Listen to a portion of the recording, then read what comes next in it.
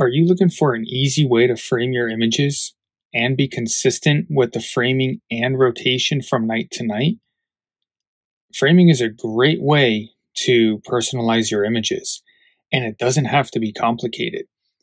Watch this video all the way through, and I'll show you two ways to do that, both using an automatic rotator and a manual rotator, without having to take one image after another and make little adjustments. Let the computer do the work for you. Hey everyone, it's Tony with Hidden Light Photography, and I finally have Orion in view over in the east, and I'm going to use that to show you how to perfectly frame your targets. So if you find this video useful, please hit that subscribe button, stay updated on the latest videos. Let's hop over to my computer and get started. So to get that perfect framing that you're looking for, there's a couple of ways to do it. And the first thing you want to do is go to equipment, rotator, and if you have a uh, an automatic rotator, go ahead and connect it. We're going to show this method first. And if you go to options, plate solving, this is going to require plate solving. So if you uh, don't already have ASTAP installed, go ahead and install that. Now I go over how to install it in the Setting Up Nina video, which I'll include a link to that in the description of this video. Uh, if you already have it, great. Go ahead and click on it. And rotation tolerance, I have mine set at one degree.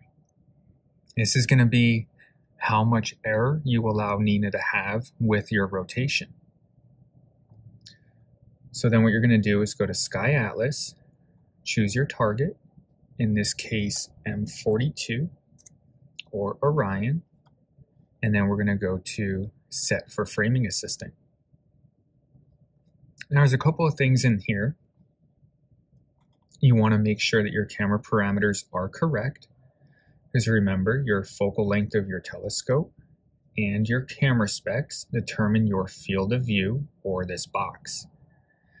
If any of this is incorrect, you're not going to have a correct field of view here. So your framing is not going to be where you set it. Now, your field of view uh, is going to be how zoomed this is. For example, if we put one and we load the image, we're really zoomed in. We can't really see what we're doing. So if that's the case, just uh, make that number bigger. I usually use four We'll load that. And now we can see that we have a much better uh, view of this. Now, check out this RA and declination coordinates.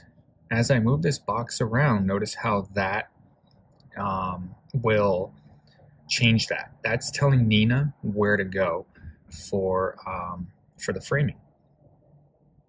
Now, rotation that's going to angle the box however we want it.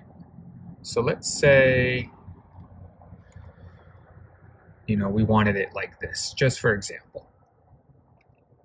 Now Nina has its target rotation and its target um, coordinates, which is going to be the dead center of the box. Now, let's say we wanted to do this in a mosaic. So let's go vertical panels, Let's re-rotate this to, I don't know, right about there. Now, what do we do from here? So what we're going to do, let's talk about Mosaic first. We're going to add the target to the sequence. I use the legacy sequencer. And you'll notice that we have, let's get rid of that for a minute. We have M42 panel 1 M42 panel 2. Now if we click this box right here and we go to this PC and I'll choose the folder I save my stuff in. Let's just, for example, let's just put it right there. Let's go to panel 1 and let's do the same thing. And let's save that. Now, Let's get rid of these. Okay, we're on another night now. And we want to reload one of these panels to use and get more data on. We'll go to load target. We'll go to where we saved. So we're going to work on panel one. And there it is. Now we can set all of our stuff, click play, and get more data. So let's trash that really quick. And let's go back into framing. Let's get rid of the mosaic. Let's go back to 125 degrees. And let's, you know, for example, put it right there. Now, what we'll do is we'll add that to the sequencer. So we have that set. We'll go to framing. Now, how do we rotate? How do we get this to happen? Now again, this uh, goes off of plate solving right here, slew center. We'll click this down arrow, slew center and rotate. So now the telescope's going to go to the target. And what's going to happen once it's done slewing, you're going to see it settling just like it normally does. And that'll be whatever you have your settle time set to. In my case, it's 15 seconds.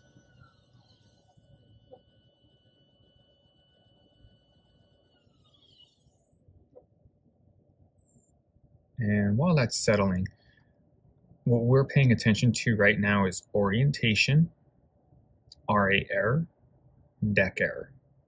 This is where the plate solvent comes in. So now it's done settling. It's going to take an exposure. It's going to plate solve it, and it's going to come up with the orientation that it's currently at.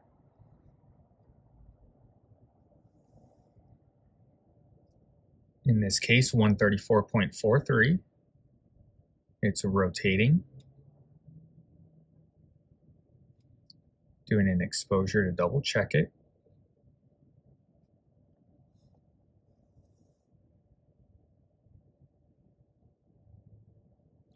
And now we're sitting at 125.07. We're within one degree. So it, it accepted that rotation. Now it's settling because it went ahead and slewed.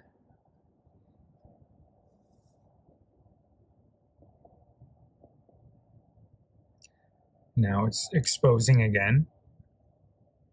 And what it's going to do is plate solve its way to the target.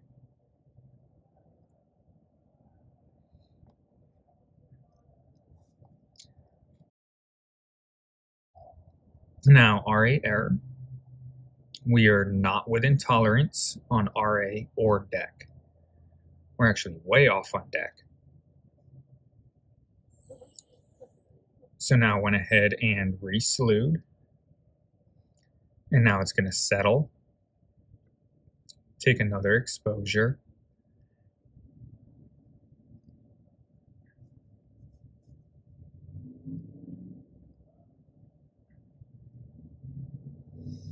And it's going to plate solve again and recheck itself.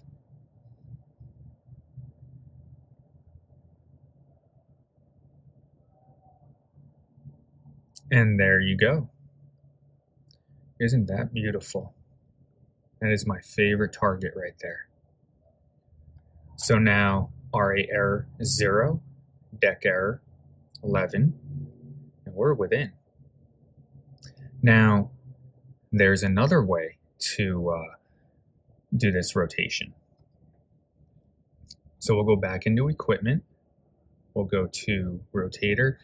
Let's go ahead and disconnect the automatic rotator. Nina has this really cool feature if you don't have an automatic rotator, manual rotator. And what this is, is uh, if you have a manual rotator, you'll use that. If not, I didn't have a manual rotator. I actually um, just adjusted the camera. And what I used to do when I first started this is I would take a, a picture. I wouldn't like how it was rotated, and um, I would rotate the camera a little bit, take another picture, and I would keep going that way. Nina makes it super easy. So let's um let's go back into framing. Let's do this to, I don't know, 90. Now, let's go back to slew center and rotate.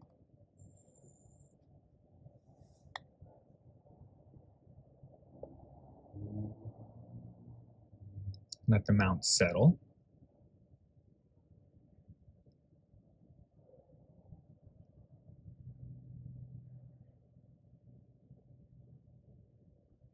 Taking its picture.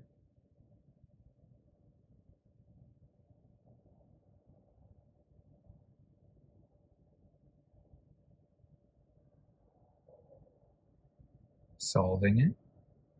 And now our target position 90, we're at 125.07.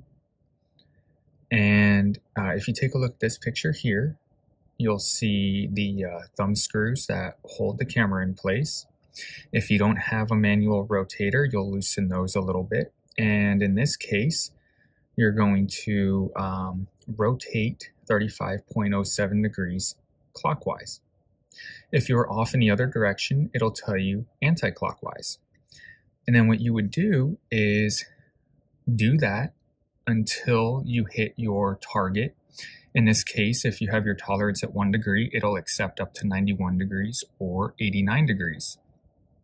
If you have a manual rotator, what you'll end up doing is loosening up the thumb screw on the manual rotator and rotate the camera manually either clockwise or anti-clockwise, and Nina will tell you once you're on target.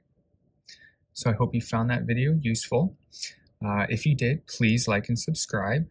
And uh, if you have any questions, please do not hesitate to ask. Uh, throw a comment in the comments section or send me an email, hiddenlightinquiries at gmail.com.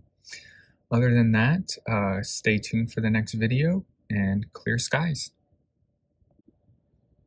Here's a quick tip if you wanted to go back to a target that you did in the past and want the same uh, orientation or rotation and the same framing, what you would do is in the framing tab, you'll click under image source, file, and then what you would do is go to load image.